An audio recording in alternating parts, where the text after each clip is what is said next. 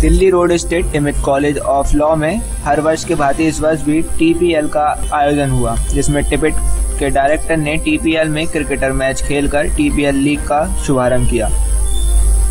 Match दो दिवसीय रहेगा, जिसमें छात्रों ने बढ़ चढ़कर भाग लिए। डायरेक्टर विपिन जैन ने बताया कि टिमिट में खेलों को आयोजन होता रहता है, जिससे छात्र छात्राओं में एक उत्साह और उमंग पैदा होती है।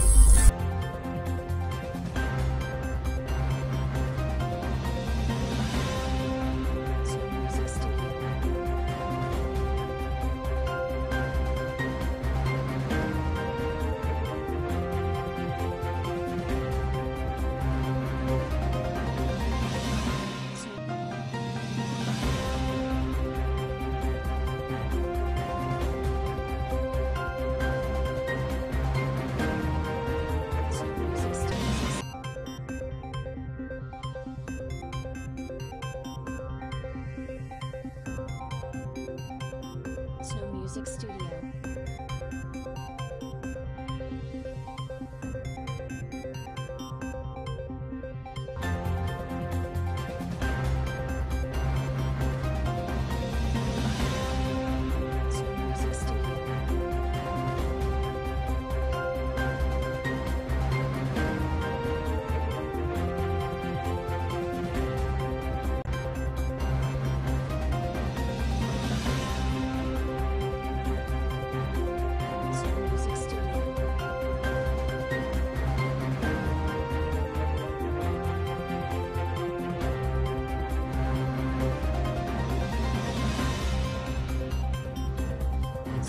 आज ये टीपीएल का आयोजन किया गया है। टीपीएल टिमिट प्रीमियर लीग है, जो हम पिछले तीन सालों से करा रहे हैं चौथी बार हम करा रहे हैं। इसमें लॉ कॉलेज की मैनेजमेंट कॉलेज की टीमों ने पार्टिसिपेट किया है। इसका एक ही उद्देश्य होता है कि पढ़ाई के साथ साथ थोड़ा सा खेल का माहौल दिया जाए बच्चों को, जिससे कि जो प्रेशर है उनका वो निकले और फिर वो अपने पढ़ाई की ओर वापस अपना ध्यान केंद्रित कर सके।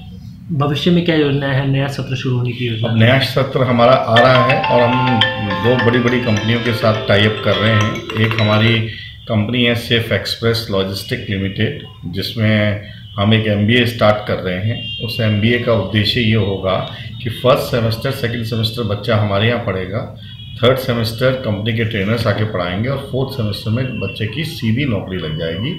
और जो भी वो नौकरी के दौरान सीखेगा ऑन जॉब ट्रेनिंग के दौरान सीखेगा उसी के आधार पर उसका एक पेपर करवाया जाएगा और उसको एमबीए की डिग्री प्रदान की जाएगी। इसमें बच्चे को जनवरी के महीने से ही जॉब मिल जाएगा। इसमें जो मिनिमम पैकेज हमने रखा है वो तीन लाख रुपए का रखा है।